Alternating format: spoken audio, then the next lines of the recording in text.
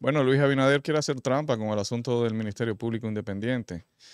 Y ayer eh, Francisco Domínguez Britos dio una declaración ahí que lo chivateó. Y esa, esa propuesta está muy, muy, muy clara. Y vamos a ver. Yo tenía mis reservas con eso, pero aparentemente el Ministerio Público es una, es una, es un engaño, es todo un engaño. ¿El Ministerio Público? El Ministerio Público. O la reforma. El Ministerio Público Independiente, lo que nos quiere vender el señor Luis Abinader es un engaño. Y leyendo la propuesta del señor Abinader, pues yo todavía, Mario, y quiero que me expliques esto, yo todavía estoy sorprendido, o sea, yo no lo creo, o sea, porque tenga un poquito más de complejidad a la hora de, engañarnos. Ya estamos a esos niveles de que a los a lo Fokker así. Siempre, eh, siempre ha sido así. Entonces, fíjense ustedes, o sea, eh, el, señor Luis Abinader dice, no, Ministerio Público elegido por un consejo de la magistratura. Es decir, ya yo me voy a limitar. Yo soy el primer presidente que voy en la historia dominicana a limitarme ese poder. Y entonces, yo quiero que tú me expliques si es verdad que la terna que se va a proponer es el presidente de la República que va a decir, ok, eh, Consejo de la Magistratura, ustedes van a elegir un procurador, pero de estos de aquí, de estos, mira, de este, y este y este, de eso, elijan uno. Mario, eso no puede hacer, eso es así. Así que dice, mira, te voy a leer, te voy a leer el artículo 171 que está propuesto, eh, la modificación, ¿tú sabes? En el borrador que envió como anteproyecto el presidente de la República. Dice, cito, artículo 171, con el propósito de eliminar el texto de esta disposición y en su lugar disponer lo siguiente. Uno, el Procurador General de la República será designado por el Consejo Nacional de la Magistratura a propuesta del presidente de la República, de conformidad con la ley. Entonces, aquí lo que quiero decir es ciertamente eso que tú interpretas, que el presidente, de acuerdo a una ley que se supone que debe eh, realizar el Congreso Nacional de la República, es quien va a presentar la terna al Consejo Nacional de la Magistratura, desde donde va a estar limitado ese consejo a elegir al procurador nuevo. La República de los estúpidos, de los imbéciles.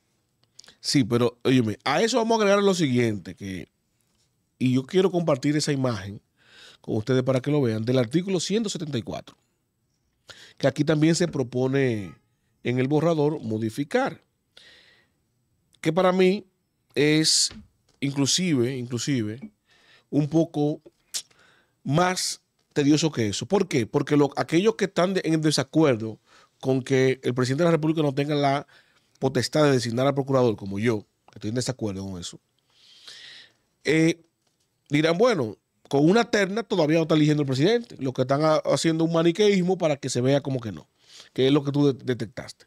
Pero el artículo 174 dice lo siguiente, en la, propuesta del, del proyecto, dice, artículo 174, con el propósito de eliminar el texto de esta disposición y en su lugar disponer que la ley definirá el funcionamiento y organización del Consejo Superior del Ministerio Público. Ok, quita un, un, artículo constitucional por una ley que ellos van a hacer como de su matita gana. Correctamente. Ahora, ¿qué dice el, artículo 174? Se los hemos compartido ahí eh, en pantalla, ciertamente, y dice, sección 3 del Consejo Superior del Ministerio Público.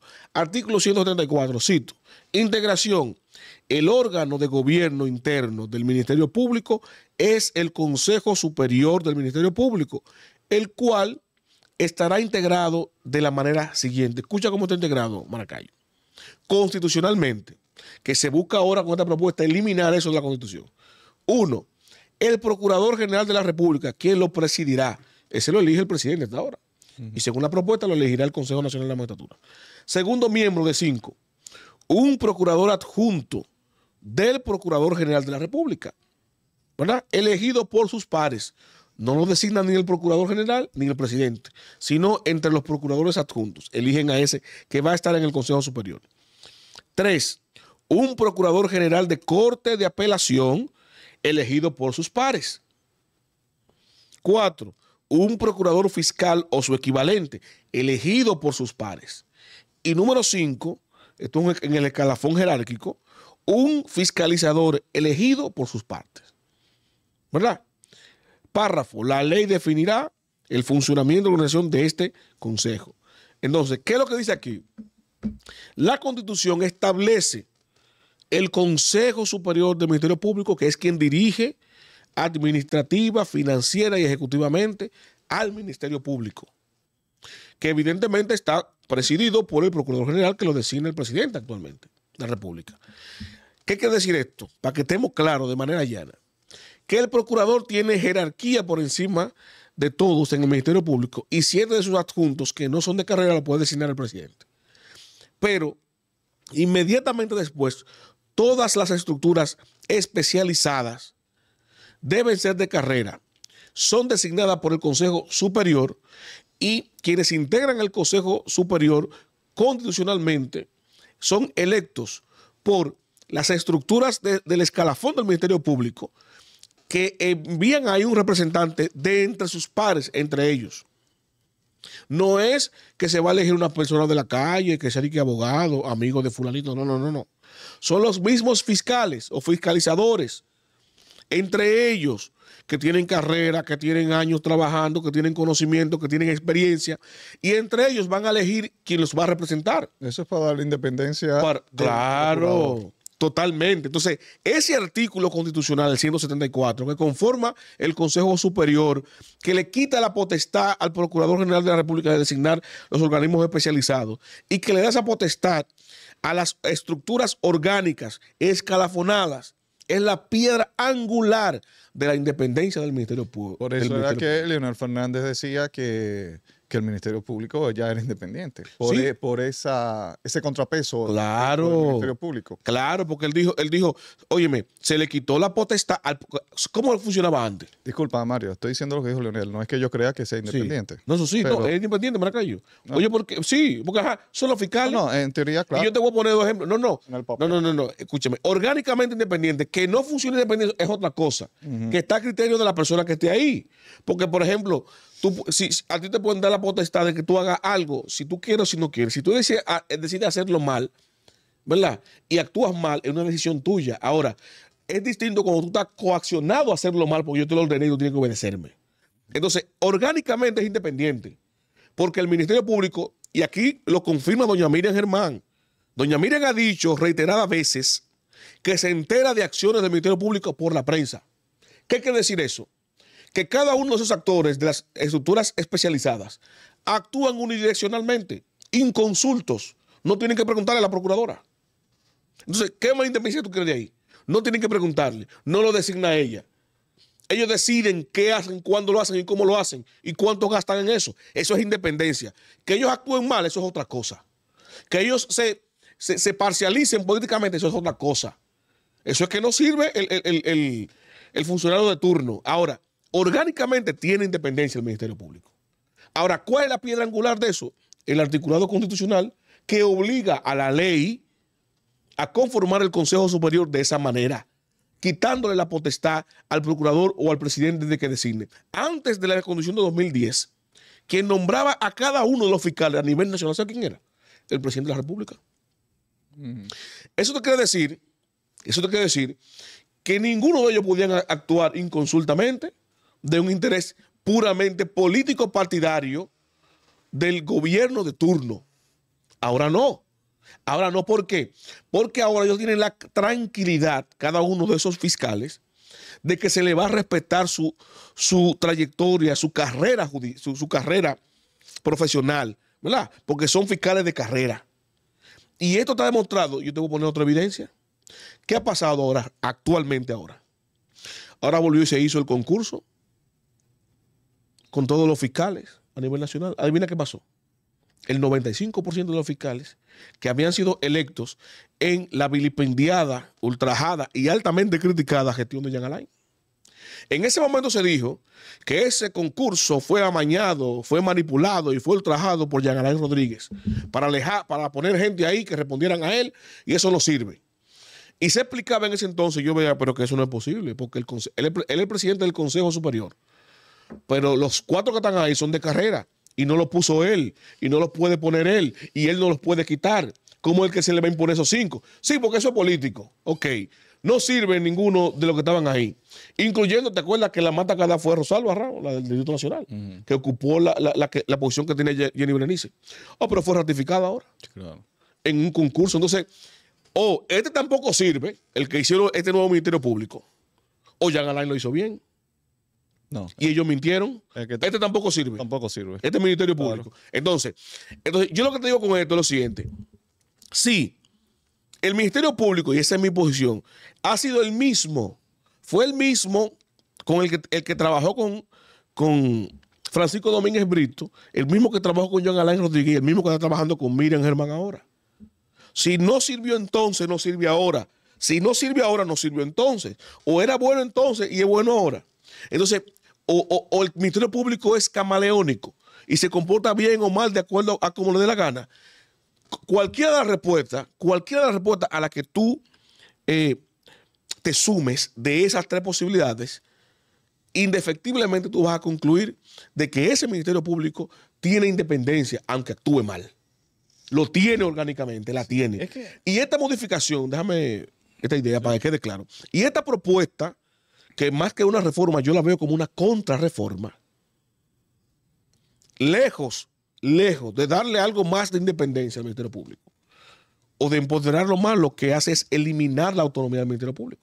Porque cuando tú eliminas al Consejo Superior de la Constitución y lo pones por ley, tú estás facilitando al poder político que modifique y elimine y quite eso. Y al tú quitarlo de la Constitución, que la ley lo tiene exclusivamente porque la Constitución lo mandó, que lo conformara así, ¿verdad? En, lugar de tú llamar a una reforma constitucional y buscar quórum con la dos terceras partes para tú, para tú contrariar eso y debilitar al Ministerio Público, tú puedes hacerlo a través de una modificación con mayoría simple en el Congreso, ¿verdad? Que eso es un consenso político. Y para colmo, para colmo, lo que plantea esto es que al tú eliminar el Consejo Superior, estaría recayendo todo ese poder otra vez en quién? En el Procurador General, centralizado, que es el gran problema de los vicios de las instituciones, que responden a unos intereses particulares. Cuando tú divides ese poder en un organismo colegiado como el que está ahora, ¿verdad? Es más difícil tú contaminarlo. Porque tiene que ser representativo de las estructuras orgánicas del Ministerio Público. Tiene que no servir entero el Ministerio Público para que no funcione. ¿Me entiendes? Entonces, esta pretensión lo que busca es, lo que hace es eliminar la autonomía, debilitar al Ministerio Público y con esa pantomima de una terna que va a proponer el mismo presidente, ta, ta, y yo te voy a dar otro dato, que te lo voy a dejar en el aire para que si tú quieres lo profundicemos al final de este corte. Hay un articulado que señala que dentro del- de, de- de esta, de este borrador, que lo leímos ahora, que no lo presentó el presidente en la semanal, ni está en su diapositiva, que establece un transitorio, un el vigésimo sexto, que establece que esa modificación constitucional entrará en vigencia cuando se aprueben las leyes eh, pendientes que están desde 2010, que no se han hecho, que son parte de la reforma integral de la Constitución, que viene complementada por leyes. No entrará en vigencia. O sea que aunque se diga ahí que va a ser así y que va a ser un consenso, hasta que no se haga esa ley, eso no va a estar, va a seguir diciendo el presidente de la República. Y ahí se queda en el aire y tendríamos que volver a invitar a otro abogado constitucionalista para que me diga. Entonces, si ese, si ese articulado imposibilita la entrada en vigencia de la Constitución hasta que se eh, eh, promulguen las 70 leyes que faltan, eso quiere decir que el transitorio de Luis tampoco se aplica. Eso es un bulto, como hicieron con Y las él tres- queda habilitado. Como hicieron con las tres, ca- con- como hicieron con las tres causales que se aprobó y pues, bueno, hay que hacer las leyes y perimió porque duraron un año sin hacerlas. Ya tú sabes, ¿verdad? Sí. Eh, ahora, te- con eso que dices de, de este cambio de actitud de estos fiscales que estaban, que son los mismos que, están, que estaban allí en el gobierno del PLD, doña Miriam, por ejemplo, se ha, se ha abstenido de, de conocer casos, por ejemplo, del de Odebrecht y por su relación con, ¿verdad? Con de Arrúa. Y está muy bien. Éticamente es lo que corresponde. Ahora, es, ¿qué es más grave? ¿Eso o el caso de Jenny Berenice? Jenny Berenice que su jefe era Jean Alain, ¿verdad? Obedecía a las órdenes de Jean Alain. Y que luego, en un cambio de gobierno, entonces ella se convierte en la acusadora de su jefe. Hay ahí un conflicto de interés que lo que cabe es que ella, e- ella le hubiese dicho al señor presidente, no, yo no, esto, yo, yo tengo que descartar esta, esta posibilidad porque me, me trae un conflicto ético, ético a mí.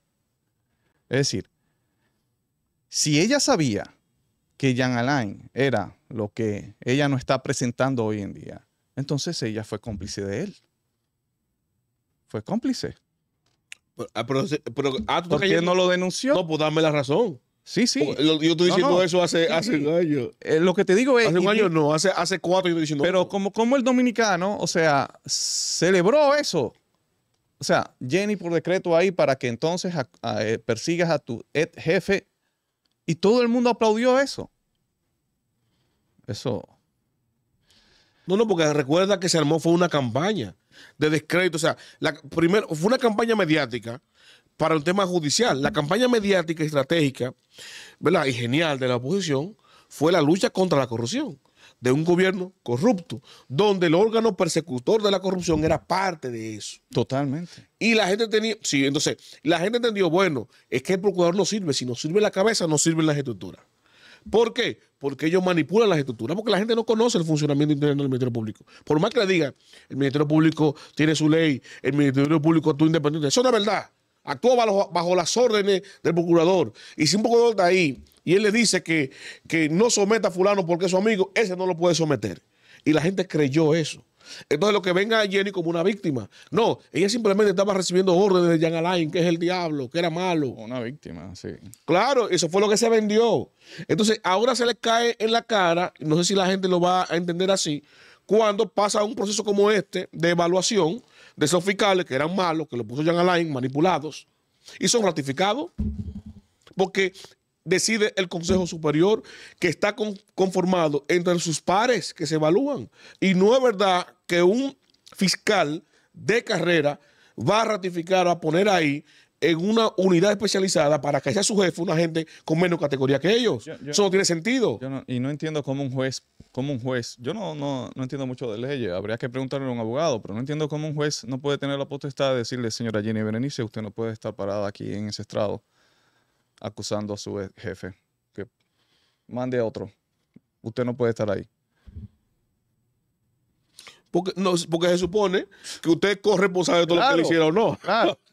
Eh, eh, eh, no, pero amigo, pero, pero tenemos a Girón ahí. O sea, Girón, el- en el caso, por ejemplo, de 5G, el, el cantante, por- para ponerte un ejemplo, y el Ministerio Público lo presenta como un testigo estrella para que diga toda la vagabundería que había. Y de lo que hay evidencia de todo lo que él dice, es de la participación de él. Él, a él lo encontraron con casa, con villa, con búnker, con de todo, con cuarto efectivo, con cuarto en cuenta.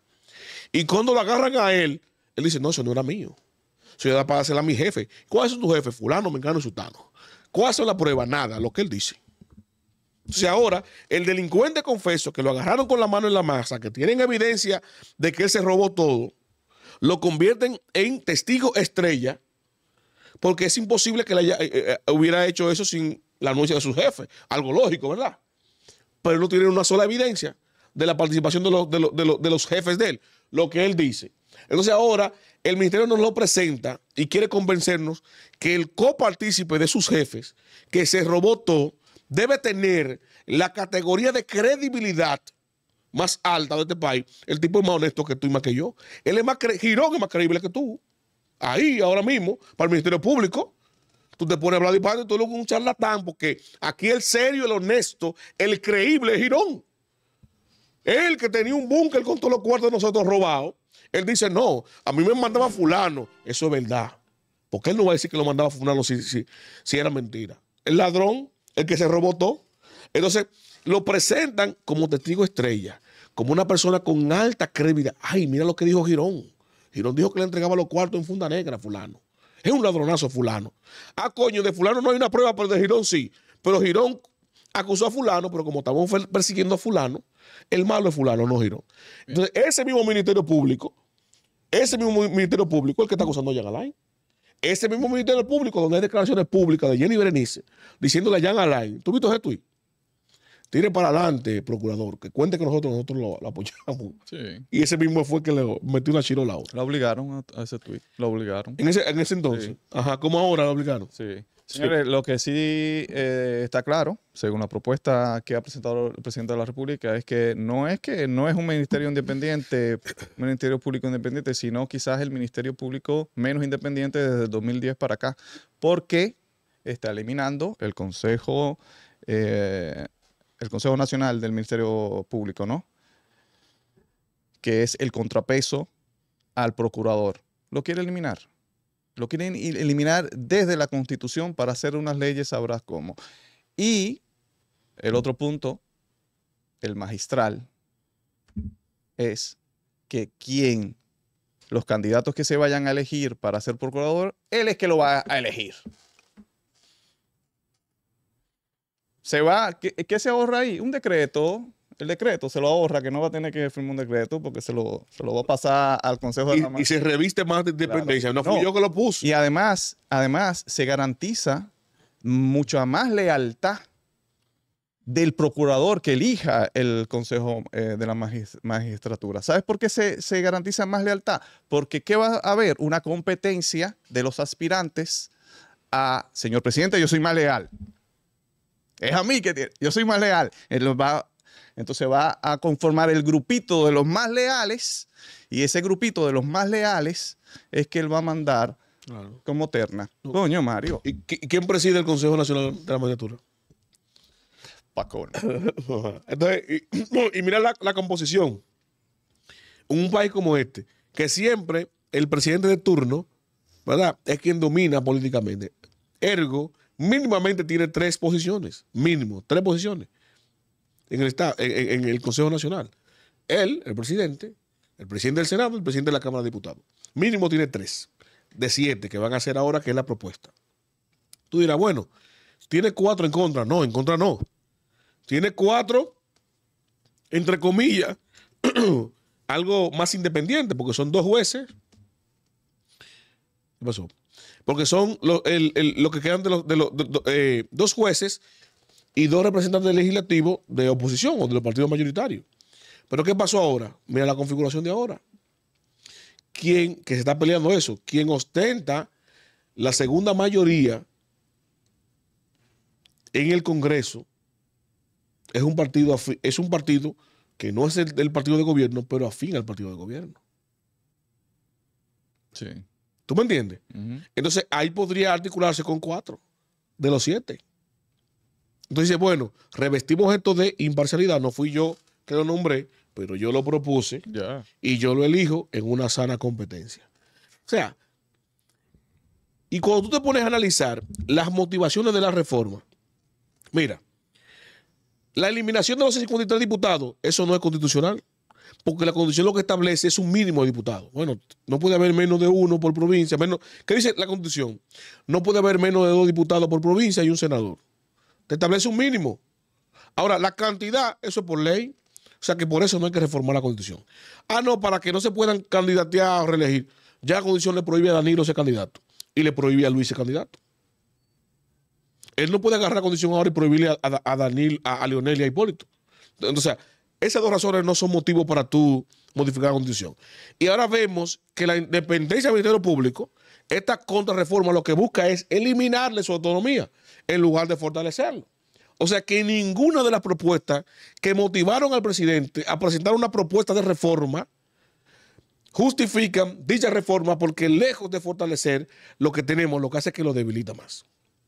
Nosotros somos La Quinta Pata, Mario Herrera, José Marescayo. Suscríbete, comenta y comparte.